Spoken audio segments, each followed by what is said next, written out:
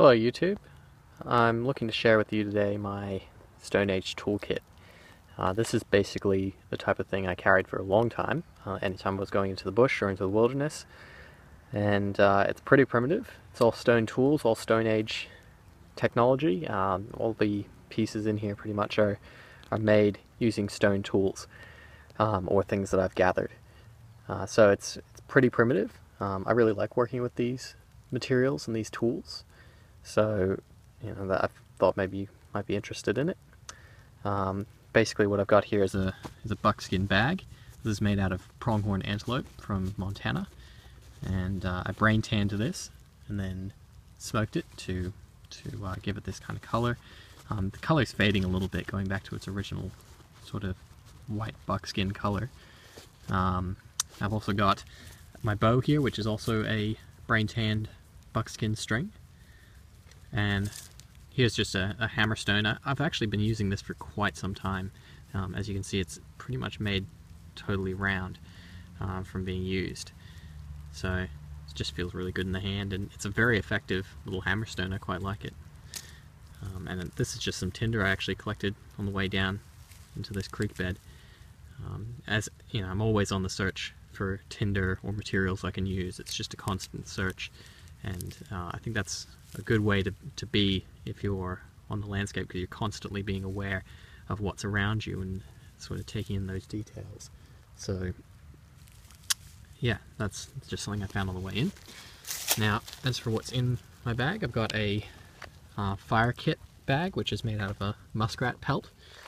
Um, this one was actually given to me by my mom, um, so I just, yeah, it's got a bit of sentimental value to me, but I just keep my, my bow drill pieces in here. Got spindles, fireboards. Not sure if you guys can hear it, but it's actually started to rain.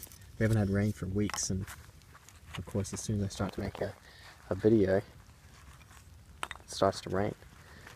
Probably not good to be bringing out my my fire making kit in the rain.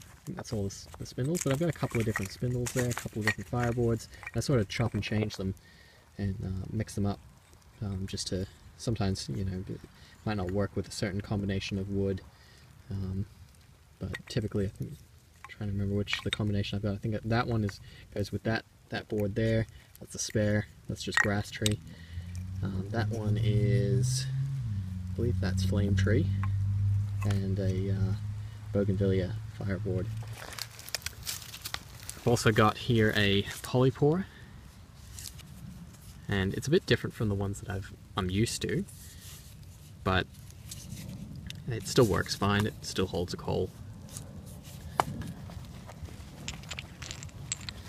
I've got my handhold here from my, from my fire set. It's just an elk bone, collected this in Montana. I've had this for a number of years now, and it's just really quite good.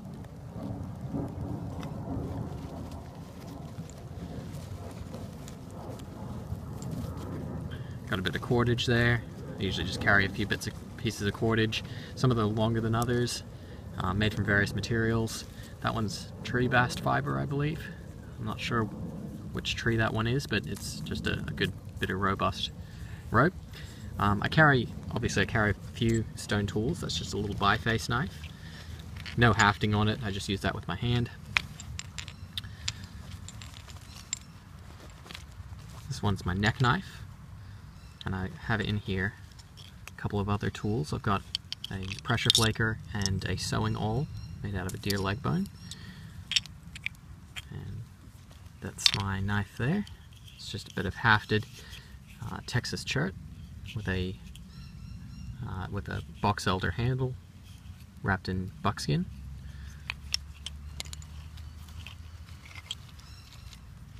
There's a couple of other pressure flakers in here.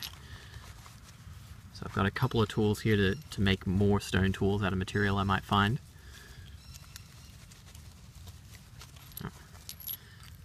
Pitch sticks, it's basically primitive glue.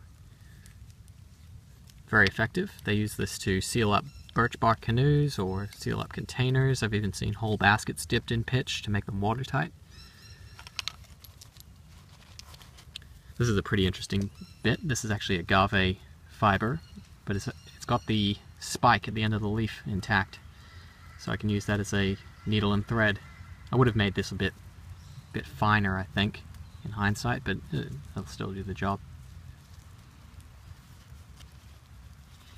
And I usually carry a couple of spare flakes, just waste flakes to do...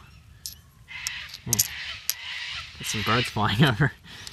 Um, these are just odd job type tools, little sawing tools, carving tools, anything that I don't want to use my, my nicer knives on. Um, if I don't want to risk damaging those, I can just use these flakes. These flakes are pretty much expendable and I can make more if I want.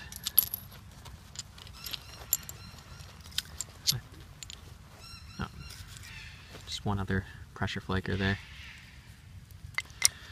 So that, that gives you an idea of some of the tools that I carry. If I'm, you know, wanting to be pretty primitive, uh, sometimes I just want to work with with primitive tools. That's all I want to do.